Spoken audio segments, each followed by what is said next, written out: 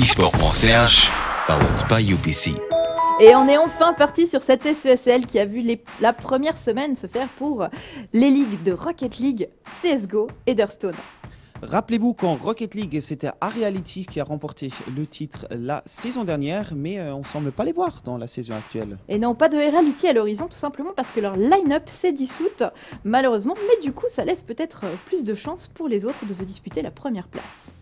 Étrange en effet, mais on voit quand même pas mal de nouvelles têtes dans cette première division, ça fait plaisir.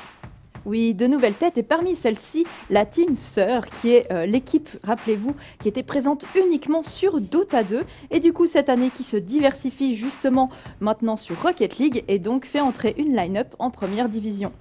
On se demande donc qui prendra la première place de cette première division et jetons un coup d'œil sur les premiers matchs qu'on a eus dans la semaine dernière.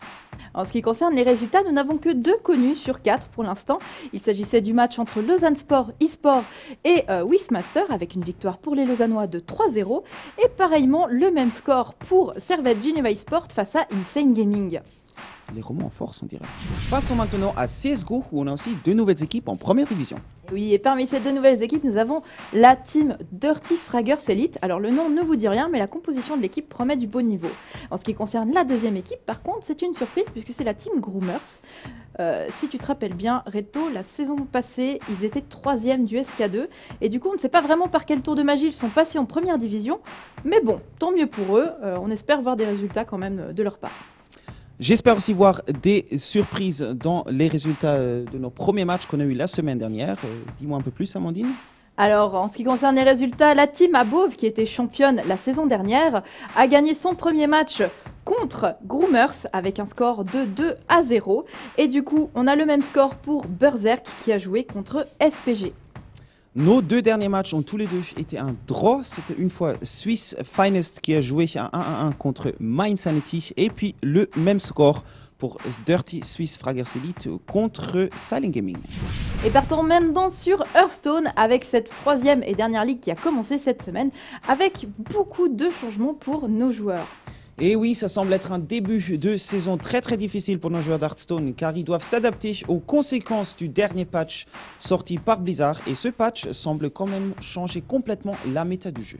Et oui, nos joueurs devront répondre rapidement là-dessus pour tenir tête à leurs adversaires le plus tôt possible.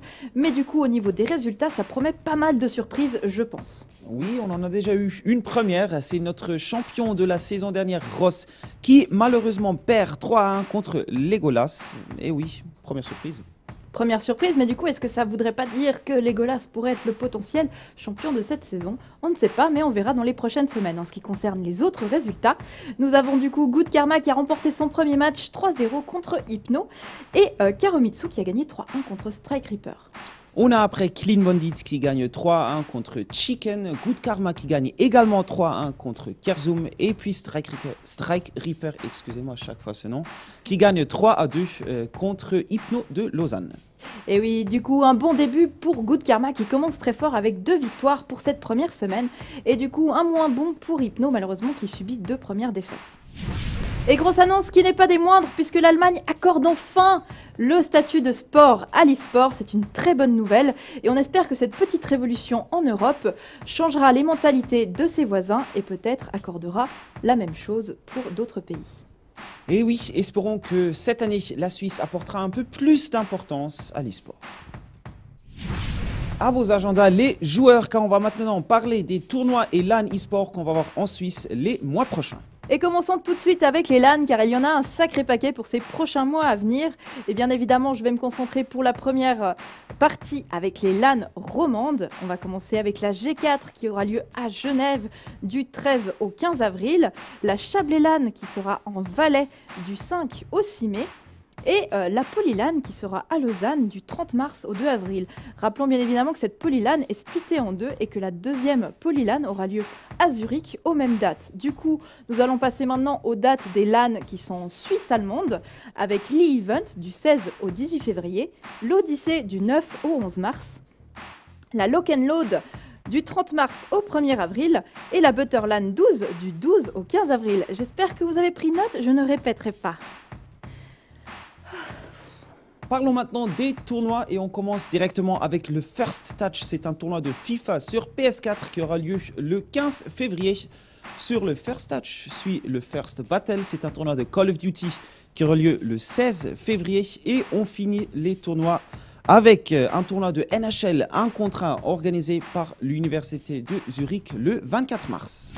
Merci beaucoup d'avoir regardé notre vidéo. On se revoit la semaine prochaine. Ok. Euh, pour regarder euh, la dernière vidéo de la semaine passée, n'oubliez pas de cliquer juste ici du côté vert qui est en train de partir. Et euh, pour... oh, et pour nous suivre et vous nous soutenir, c'est juste ici. Merci. Qu'est-ce que fait